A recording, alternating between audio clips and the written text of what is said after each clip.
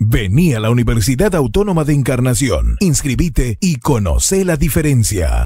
Nos encontramos en el distrito de San Rafael del Paraná, específicamente en la Escuela Básica San Rafael, en la colonia Libertad, segundo asentamiento, donde la municipalidad procede a la inauguración de un pabellón completamente refaccionado. ¿Es así, Así mismo, Hernán, eh, gracias por la visita. Hoy estamos de fiesta aquí en segundo asentamiento. Eh, hacía ya falta la refacción y hoy ya tenemos a la vista una nueva construcción, se hizo todo revoque, piso, eh, la parte eléctrica, quedó hermosísimo quedó nuestra construcción.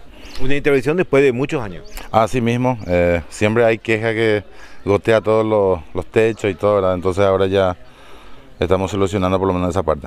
Excelente, ¿qué inversión demandó esto? 309 millones, 309 millones, sí. ¿Esto compone techo, pared? techo, techo, revoque, eh, piso, parte eléctrica y ahí donde se va a hacer la formación y todo. Vemos que incluso las puertas han sido Ah, sí mismo, sí, totalmente. ¿Incluye también instalación eléctrica? Exactamente.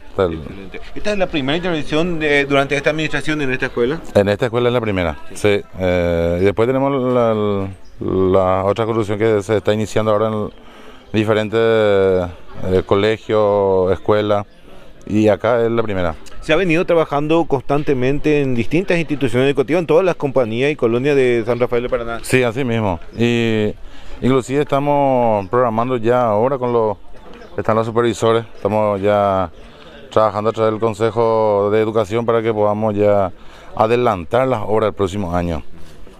Excelente, a fin de que esto se vaya agilizando y se pueda llegar con, más rápido. Exactamente. Y es la cuestión para que podamos utilizar todos los recursos de FONACIA, porque si vos no usas todo este año lo que le corresponde al 2023, el próximo año ya no te viene más ese recurso. Entonces lo, importante es que se pueda utilizar el 100% de recursos de royalty que eh, que le corresponde a cada año. ¿Hay otras proyecciones para esta institución? Ahora en este momento no, vamos, vamos para el próximo año. Pero siguen las obras en la otra institución. Exactamente, sí.